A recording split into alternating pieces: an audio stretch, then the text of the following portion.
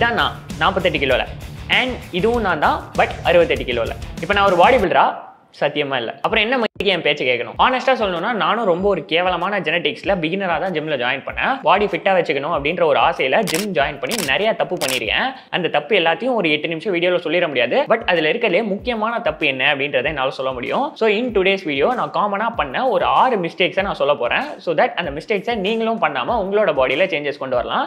So sit back relax and enjoy before we going to the video இப்போ நான் சொல்ல போகிற மிஸ்டேக்ஸை எதர் நீங்கள் பண்ணிட்டு இருக்கலாம் இல்லை உங்கள் ஃப்ரெண்டு பண்ணிட்டு இருக்கலாம் இல்லை உங்கள் ட்ரெயினரே கூட பண்ணிட்டு இருக்கலாம் இதை யாரெல்லாம் பண்ணிட்டு இருக்கீங்களோ உங்கள் எல்லாருக்கும் நான் சொல்ல வேண்டிய விஷயம் ஒன்றே ஒன்று தான் இருக்குது அது என்னன்னா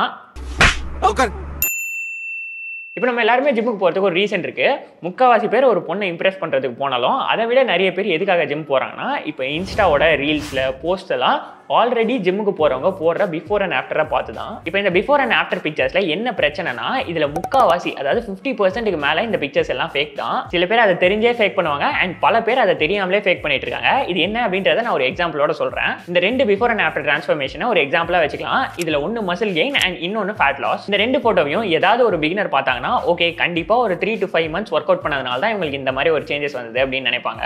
பட் ஆக்சுவலாக உண்மை என்னன்னா இந்த ரெண்டு டிரான்ஸ்ஃபர்மேஷனும் நடக்கிறதுக்கு வெறும் அஞ்சு நிமிஷம் தான் ஆச்சு. அதாவது இந்த பிஃபோர்லேருந்து ஆஃப்டர் போகிறதுக்கு அவங்களுக்கு வெறும் அஞ்சே நிமிஷம் தான் ஆச்சு. இதை பற்றி அவங்களே ஒரு வீடியோ கூட போட்டிருப்பாங்க. அதை நான் டிஸ்கிரிப்ஷனில் கொடுக்குறேன். போய் பாருங்க. இந்த ரெண்டு ஃபோட்டோலையும் இருக்கிற ஒரே ஒரு டிஃப்ரென்ஸ் என்னன்னா இந்த லெஃப்ட் ஃபோட்டோவில் அவங்க ஒர்க் அவுட்டே பண்ணாமல் ஒரு கேவலமான லைட்டிங்கில் வயிற்ற வெளில விட்டுட்டு நின்றுருக்காங்க. அண்ட் இந்த ரைட் ஃபோட்டோ அவங்க ஒர்க் அவுட் முடிச்ச உடனே எடுத்தது அதாவது அவங்க ப்ராப்பராக பம்பாக இருக்கும்போது எடுத்ததுனால அண்ட் நல்ல லைட்டிங்லையும் நிற்கிறதுனால அவங்களுக்கு அந்த அளவுக்கு பெட்டராக தெரியுது. ஆனால் இது எதுவுமே ஒரு பிகினருக்கு தெரியாது. இந்த பிஃபோர் அண்ட் ஆஃப்டர்லாம் என்ன பிரச்சனைனா இதை பார்க்குறவங்களுக்கும் அதே மாதிரி ஒரு ரிசல்ட் வரணும் அப்படின்ற ஒரு மைண்ட் செட்டில் தான் அவங்க ஜிம்முக்கு போகிறாங்க அண்ட் அதை தான் அவங்க ஒரு சோர்ஸ் ஆஃப் மோட்டிவேஷனாகவும் வச்சிருக்காங்க. இதை நான் ஏன் சொல்கிறேன்னா நானும் இதே ஒரு நிலைமையில தான் இருந்தேன். என் ஃப்ரெண்டு ஒருத்தன் ஜிம்முக்கு போயிட்டு அவனோட பிஃபோர் அண்ட் ஆஃப்டர் பார்த்துட்டு நானும் அதே மாதிரி வரணும் அப்படின்னு போய் ஒரு மூணு மாசத்துல எதுவுமே நடக்கல. அண்ட் அங்கே நான் வந்து டிமோட்டிவேட் ஆனேன். இப்போ முக்கால்வாசி பேருக்கு நான் வந்து என்னையும் சேர்த்து தான் சொல்கிறேன் நம்மளோட மோட்டிவேஷன் எங்கேருந்து வருதுன்னா ஒரு எக்ஸ்டர்னல் ஃபேக்டர்லேருந்து வருது. ஓகே நம்ம பாடியை பில்ட் பண்ணிட்டா அந்த பொண்ணை இம்ப்ரெஸ் பண்ணிடலாம். ஓகே நம்ம பாடி ஏற்றி ஒரு இன்ஸ்டா போஸ்ட் போட்டால் நம்ம சோஷியல் சர்க்கிளை இம்ப்ரெஸ் பண்ணிடலாம். அந்த மாதிரி ஒரு மைண்ட் செட்டில் இருக்கிறனால என்ன பிரச்சனைனா அந்த எக்ஸ்டர்னல் ஃபேக்டர் நம்ம லைஃப்பை விட்டு போனதுக்கப்புறம் நமக்கு அந்த மோட்டிவேஷனும் போயிடும். ஃபார் எக்ஸாம்பிள் இப்போ ஒரு பிஃபோர் அண்ட் ஆஃப்டர் போஸ்ட்டை போட்டுட்டீங்க அப்படின்றதே வச்சுக்கலாம். அதை போட்டுட்டா அதுக்கப்புறம் அந்த மோட்டிவேஷனுக்கு நம்ம எங்கே போவோம்? நம்ம தான் அந்த வேலையை முடிச்சிட்டோமே அப்படின்னு சொல்லிட்டு அதுக்கப்புறம் ஜிம் பக்கமே போக மாட்டோம். இப்போ இந்த மோட்டிவேஷனை ஒரு எக்ஸ்டர்னல் ஃபேக்டர் மேலே வைக்காம இந்த ப்ராசஸை நமக்காக என்ஜாய் பண்ணி பண்ணுறோம் அப்படின்ற மைண்ட் செட்டில் நீங்கள் பண்ணாலே நீங்கள் எவ்ரிடே கண்டிப்பாக ஒர்க் அவுட் பண்ணிடுவீங்க. இப்போ இந்த மிஸ்டேக் அவாய்ட் பண்ணுறதுக்கு நான் இன்னொரு டிப் கூட சொல்கிறேன் நம்ம உடம்பு ஒரு மூணு மாசத்துலயோ இல்லை ஆறு மாசத்துலயோ இல்லை ஒரு வருஷத்துலயோ எப்படி இருக்கும் அப்படின்றத நினைக்கிறத விட்டுட்டு இன்னைக்கு நம்ம வேலை என்ன? ஜிம்முக்கு போகணும் டயட்டை ஒழுங்காக இருக்கணும். இந்த மாதிரி நீங்கள் அன்னன்னைக்கு யோசிச்சிங்கனாலே கண்ணை மூடி திறக்கிறதுக்குள்ள ஒரு மூணு மாசத்துலயோ ஆறு மாசத்துலயோ ஒரு டிரான்ஸ்ஃபர்மேஷன் தானாக வந்துடும் ட்ரை பண்ணி பாருங்க. இப்போ நம்ம ஃபிட்னஸ் ஜேர்னியை ஸ்டார்ட் பண்ணும்போது நம்ம எல்லாருக்கிட்டையும் ஒரு கெட்ட பழக்கம் ஒன்று இருக்குது அதாவது மொத்த உலகத்துக்கும் நம்ம ஜிம்முக்கு போகிறோம் அப்படின்றத அனௌன்ஸ் பண்ணுறது ஆனால் ஜிம்முக்கு போகிறதுல ஒரு நிதர்சனமான உண்மை என்னென்னா நமக்கு ரிசல்ட்டு அந்த அளவுக்கு சீக்கிரம் வராது. இதுக்கு மெயின் காரணம் என்னென்னா நம்ம எல்லாருக்குமே அந்த பேசிக்ஸை தரவு பண்ணுறதுக்கே கொஞ்சம் டைம் ஆகும். இப்போ நான் பேசிக்ஸ் அப்படின்னு என்ன மீன் பண்ணுறேன்னா இப்போ ஃபர்ஸ்ட் ஆஃப் ஆல் நீங்கள் பைசப்ஸ் ஒர்க் அவுட் போட்டிங்கன்னா உங்கள் பைசப்ஸில் அது ஃபீல் ஆகுது அப்படின்றது உங்களுக்கு தெரியறதுக்கே ஒரு ஒரு மாதம் கிட்ட ஆகும். எனக்காச்சு அதனால நான் சொல்கிறேன் அண்ட் அதே மாதிரி இப்போ நம்ம ஒரு லேட் ஒர்க் அவுட் போடுறோம்னா அதை போடும்போது எப்படி அந்த மசிலை ஃபீல் பண்ணி போடணும் அப்படின்றது தான் பேசிக்ஸ் ஸோ இது கற்றுக்கிறதுக்கே கொஞ்சம் டைம் ஆகும். பட் நிறைய பேருக்கு இதுவே கரெக்டாக புரியல. அவங்க என்ன நினச்சிட்டு இருக்காங்கன்னா ஓகே நம்ம நிறைய ஒர்க் அவுட் பண்ணால் நிறைய மசில் வளரும் அப்படின்ற ஒரு தப்பான ஒரு எண்ணத்தில் அவங்க இஷ்டத்துக்கு போய் ஒர்க் அவுட் போடுறாங்க. இப்போ நானே சில பேர்லாம் ஜிம்மில் பார்த்துருக்கேன். அவங்க வந்து காலைல போனாலும் ஜிம்மில் தான் இருப்பாங்க. சாயங்காலம் போனாலும் ஜிம்மில் தான் இருப்பாங்க. அதுக்கப்புறம் நான் கிளம்பும்போதும் கார்டியோ மிஷினில் இருப்பாங்க.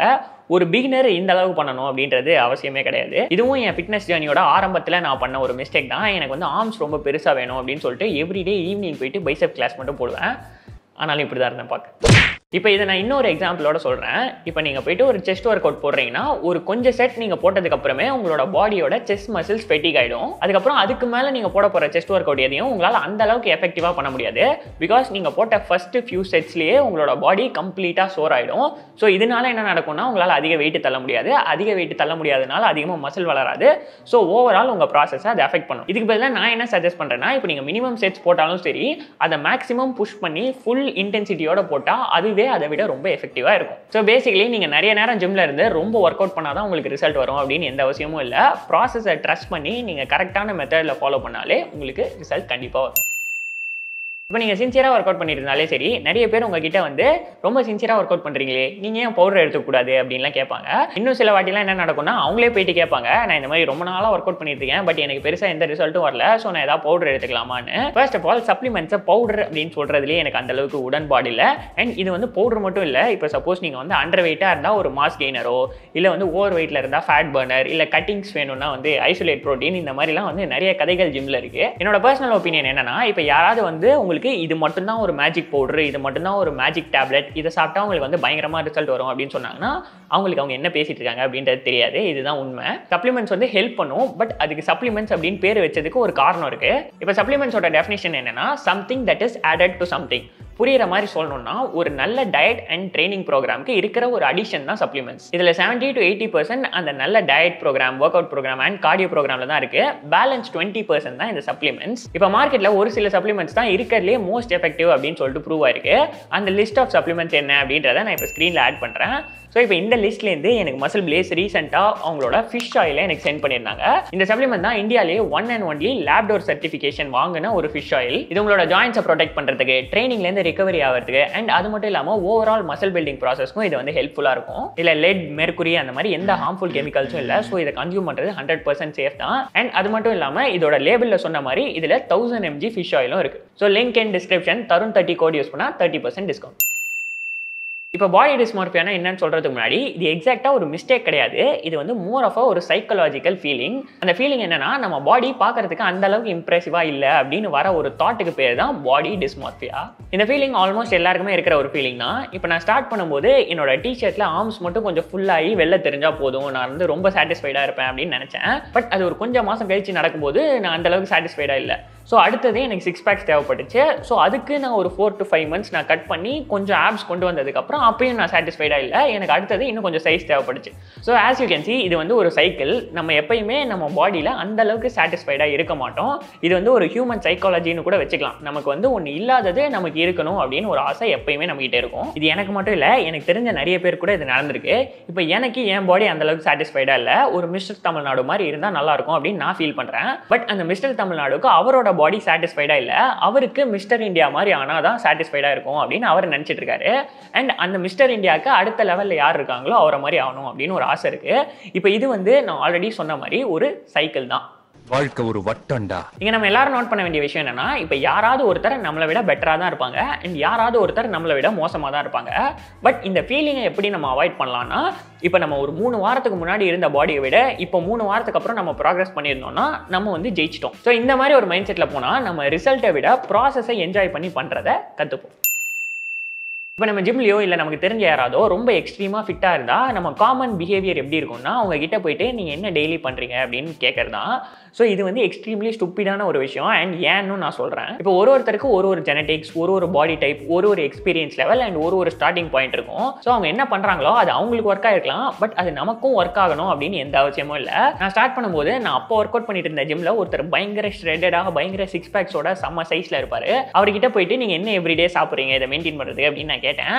அவர் என்ன சொன்னார்னா நான் எவ்ரிடே வந்து சப்பாத்தி கொஞ்சோண்டு ரைஸு அப்புறம் நிறைய வெஜிடபிள்ஸ் அதுக்கப்புறம் ஐநூறு கிராம் சிக்கன் எடுத்துப்பேன் அப்படின்னு சொன்னார். நான் என்ன நினச்சேன்னா ஓகே நம்ம வந்து ஜாக் பாட்டை ஹிட் பண்ணிட்டோம். இவர் ஃபாலோ பண்ணுற அதே ஃபாலோ பண்ணால் நமக்கும் இவர் மாதிரி ரிசல்ட் வரும் அப்படின்னு நினச்சி நான் அதை ஃபாலோ பண்ணேன்.